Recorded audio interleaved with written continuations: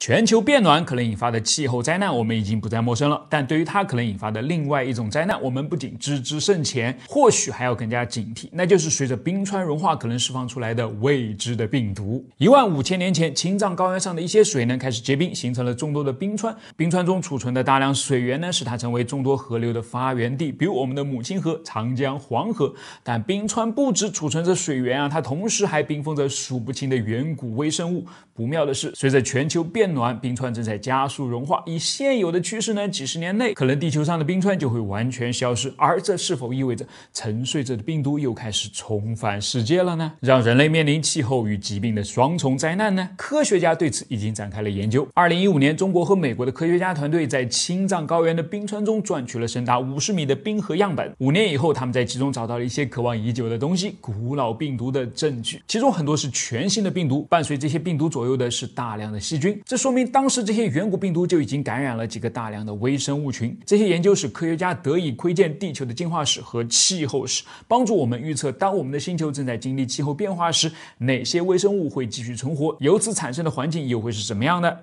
但这样的研究会是一个相当漫长的过程，因为冰川中蕴藏着太多各种各样的微生物了。科学家想要弄清楚病毒究竟在其中起着怎样的影响，想要采集到足够多的多样性病毒，这都需要时间啊。按理来说，地球给他们时间原本是足够的，但计划赶不上变化，谁叫人类这么作呢？人为造成的气候变化呢，正在大口大口的吃掉这些病毒猎手的时间。研究表明啊，全球变暖的气温正在导致世界各地的冰川缩小，并释放出被冰封了数万至数十万年的微生物和病毒。当然，这是在科学家还没有来得及研究它们之前啊。而且最坏的推测是呢，冰川融化可能会将病原体释放到开放的环境中。然而，最糟的情况似乎已经在二零一六年成为了现实。当时西伯利亚爆发的炭疽热，杀死了两千多只驯鹿，并导致了九十六人入院治疗。炭疽热是由炭疽杆菌所引起的人兽共患的急性传染病。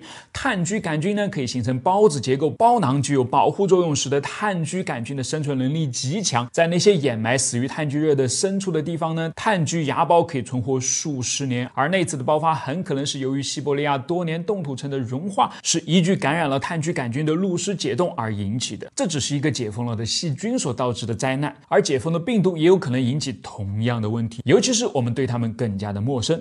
自二零零三年起呢，科学家就在陆续复活并研究一些远古的冰封病毒。这些病毒不仅大的超过了人们对一般病毒的认知，而且在经过了数万年的沉睡之后呢，居然还活力不减。比如二零一五年，法国科学家从西伯利亚永久冻土中复活的一种名为西伯利亚软体病毒的巨型病毒，就仍然可以感染单细胞的阿米米巴原虫。哎，当然这家伙也不是什么好东西啊。说阿米巴原虫这个名字，你可能没什么感觉，但它还有另外一个令人闻风丧胆的名字，叫做食脑虫。说回来，可见这些史前病毒不是什么省油的灯。